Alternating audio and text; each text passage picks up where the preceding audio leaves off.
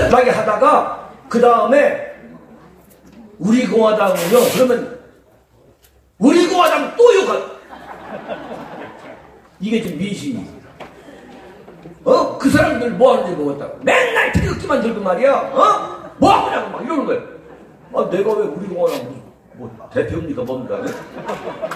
아니 박근혜 동정 뭐첫 번째 이사 아닙니까? 뭐 어쩌고 이러는데 말씀 좀 해주세요. 그러는데 제가 오늘 진짜 말씀드리는데 여러분들 요번에 조국을 막지 못하면 안 됩니다. 우리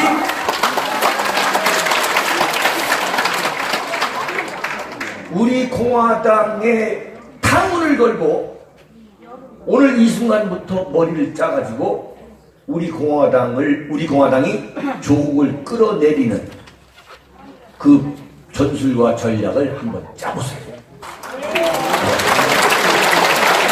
반화. 네? 정말 우리 공화 당 당원들이 윤창중 의원 욕하면 그 정말 맞아 정말. 예. 농담이고 어, 결론을 내리겠습니다. 어, 여러분들이 보수 우파의 대한 정당이 되셔야 됩니다.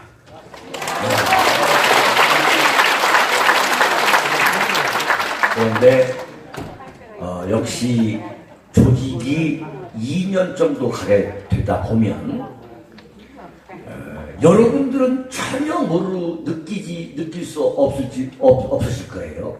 근데 제 눈에는 들어옵니다. 어, 관료화, 관료주의화가 됐고 어, 매너리즘에 빠져 있는 그 기미를 제가 느낍니다. 예. 자유한국당을 닮아가고 있어요. 네, 여러분 이게 굉장히 중요한 얘기입니다. 여러분들은 아니라고 할 텐데 제가 볼 때는 2년 전에 대한애국당보다도 아주 투박한 그 투박한 야성이 지금 떨어져 있습니다. 네. 아니죠? 억울하죠? 그럼 분발하셔야 됩니다. 예. 정말 어 우리 공화당의 최대의 장점은 뭐냐? 정말 겸손한 태극기 세력.